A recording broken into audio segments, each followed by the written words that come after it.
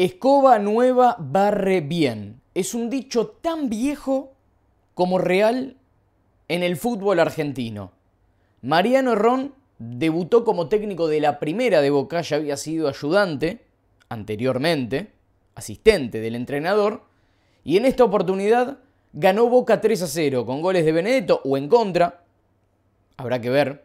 Para mí termina siendo en contra más que de Benedetto porque el remate de Benedetto no iba al arco el segundo de Langoni y el tercero de Paul Fernández. La pregunta es, ¿era tan difícil? Porque Boca claramente tiene un plantel muy superior al de Barraca Central. De hecho, para mí le sobraron los segundos 45 minutos al partido. Alguna que otra jugada Boca ni siquiera quiso hacer el gol, como diciendo, bueno, vamos a frenar un poquito el carro, que tenemos que jugar contra Monagas de Venezuela en la semana, por el debut de la Copa Libertadores pero da la sensación que Boca, cuando quiere, juega bien y cuando quiere, sospechosamente no juega bien. Cada uno le pondrá la connotación de sospechoso que quiera a este tipo de situaciones que se suelen dar en Boca. ¿Por qué? Porque de lo que se vio en este torneo, a Boca lo pinta más como un equipo de mitad de tabla que un equipo que puede pelear el campeonato. Hoy claramente el puntero del campeonato es River, que le ganó a Unión de Santa Fe por 1 a 0 y con lo justo en el Monumental. Probablemente con alguna que otra situación que pudo haberle dado al Tatengue una ventaja ante River en alguna que otra situación de partido, pero bien lo ganó River al fin y al cabo en el Monumental. Pero Boca contra Barraca Central le termina sobrando. En estos partidos a Boca le sobra, a Boca le sobró con Barraca Central, a Boca le sobró en la Supercopa Argentina contra Patronato. Ahora después tenés partidos en los que decís, puta madre, ¿esto es Boca? Porque es el segundo equipo con mayor presupuesto en la Argentina. Pero claro, tenés partidos que decís, ¿esto es Boca? O sea, yo realmente no entiendo a los jugadores a veces. Me cuesta entender al jugador de fútbol. Porque un día Benedetto está quebrado mentalmente, quebrado psicológicamente y erra pelotas que no erró en su vida. Y tiene días en los que está iluminado y juega bien, se eh, junta con sus compañeros, hace goles, tira diagonales, como cuando jugaba con Guillermo Barros Esqueloto, ni bien llegó a Boca en 2016, en ese campeonato que la rompió toda hasta que se lesiona, después juega Bow y después vuelve Benedetto y vuelve más goleador todavía. Entonces yo me pregunto, ¿cuál es Boca? ¿Boca es el que se vio, por ejemplo, en la cancha de Boca contra Defensa y Justicia? ¿Cuál es Boca? ¿Boca es el que se vio contra Vélez en el Amalfitani? ¿O es el que se vio con talleres en Córdoba? ¿O el que se vio con patronato? ¿Cuál es Boca? Hay muchos Bocas. Entonces, la gran pregunta termina siendo si estos jugadores pueden sostener a un técnico con el tiempo. Porque es un plantel que ya se morfó a ruso. Vos me podrás decir, no, pero pará, Diego, algunos llegaron este año, otros llegaron el año pasado, otros llegaron eh, hace dos años. Pero este plantel en general se morfó a Russo, se morfó a Bataglia, se morfó a Ibarra y ahora veremos qué pasa con Arrón.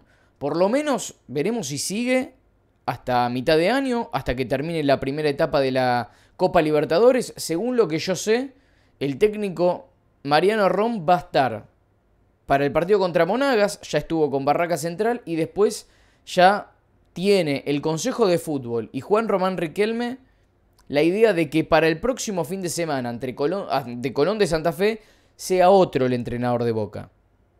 Esto es información. Después puede pasar o no que durante la semana Boca encuentre un técnico acorde a las circunstancias. Porque Boca está en un año electoral. Esa es la gran diferencia respecto a otros equipos. Además de que Boca, claramente, tiene mucha más repercusión, tiene mucho más alcance en los medios de comunicación, tiene mucho más alcance que acá en YouTube, donde estás viendo este video. Boca es el equipo por escándalo que más repercusión interna tiene. Y date cuenta que hace unos minutos ya que no analizo prácticamente el partido, porque para mí hoy jugó muy bien Paul Fernández, lo viste en la miniatura. Jugó bien Benedetto. Hasta jugó bien Ramírez. Y vos me podrás decir, nada, Diego, es un partido contra Barracas. Y tenés razón. Fue un partido contra Barracas. Boca tiene que ganar todos los partidos. Todos quieren ganar todos los partidos. Y está bien que Boca hoy haya ganado 3 a 0 porque tiene momentos en los que Boca ni siquiera gana por goleada este tipo de partidos. Yo no quiero caer en la de ganó, gustó y goleó. La triple G.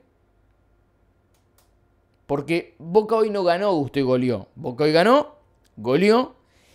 Y para mí todavía le falta eso de gustar. Yo no sé si el hincha de Boca tiene tantas ganas que el equipo gane, guste y golee. Sí que gane, sí que golee, pero no sé si que guste. De hecho, hasta me atrevo a decir que no tiene ganas que golee. Al hincha de Boca le gusta sufrir. Le gusta sufrir si después gana. Porque yo recuerdo cuando estaba Guillermo Barros Esqueloto en Boca, que muchos se preguntaban o hacían encuestas en Twitter diciendo, ¿qué preferís? ¿Ganar como gana el Boca de Guillermo 4 a 3? Metiendo 4 goles pero que te invoquen 3? ¿O ganando 1 a 0? Así, raspando. Y el hincha de Boca por lo general quiere ganar 1 a 0. Quiere ganar 1 a 0. Bueno, en lo que a mí me respecta en cuanto a la opinión, a mí me gusta que el equipo meta 4, 5, 6 goles. Y después, bueno, el partido será más apasionante para cualquier tipo de partido. Hasta los que veo como neutral. Que hoy por hoy veo casi todos como neutral. Me gusta ver goles. Y Boca es un equipo que se acostumbró a no hacer goles. Tampoco le marcan muchos, pero se acostumbró a no hacer tantos goles. Y hay una cuestión que a mí me llama la atención, que va aparte de este tema de, que Boca hoy ganó, porque hoy también jugó bien Villa, y debo decirlo, pero justamente dos jugadores que hoy jugaron bien, como Villa y Paul Fernández, se fueron juntos en un cambio que hizo Ron, y fue el mismo cambio que hizo la última vez que Boca jugó en la bombonera, Hugo Ibarra. Y que ambos, Villa y Paul Fernández, se fueron chiflados por la bombonera. Respecto a lo de Villa, yo no estoy de acuerdo cuando el hincha de Boca lo chifla. No estoy de acuerdo. Me parece que Villa es el jugador más desequilibrante que tiene Boca. Y que vengan de a uno, no tengo problema en discutirlo, en debatirlo. Paul Fernández sí que no dio la talla eh, desde su vuelta a Boca.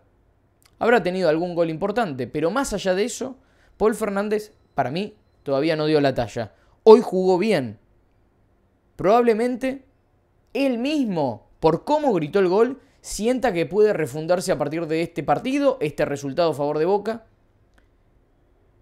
Y esa gana que tiene que ponerle, esa gana, porque no es ganas, esa gana, porque Paul Fernández yo siento que a veces vibra poco el partido para ser el capitán de Boca, que eso también, el capitán de Boca tiene que hablar, Capitán de Boca tiene que hablar con el árbitro, con los compañeros, tiene que hablar. Yo a Paul Fernández no le conozco la voz, pero hoy jugó bien. Y un jugador, cuando no le conoces la voz, ¿cómo se puede expresar? Jugando bien a la pelota. Boca ganó 3 a 0, le ganó a Barraca Central, un partido que tenía que ganar, para no perderle pisada a River, porque Boca nunca se puede despedir de un campeonato. No estamos ni a la mitad del torneo. Y Boca llega relativamente bien al inicio de la fase de grupos de la Copa Libertadores, que va a tener que sacar una buena cantidad de puntos. Porque la realidad es que tiene tres rivales a los que Boca los tiene que prácticamente pasar por encima. Por ahí se le puede complicar contra Colo Colo, pero el resto los tiene que ganar. Boca le ganó a Barraca Central y esta es la opinión de este servidor, que para mí el título es Escoba Nueva barre bien. Mariano Ron en su primer partido le ganó 3 a 0 a Barraca Central. ¿Buscará un nuevo técnico o volverán a dejar un interinato en boca? Veremos.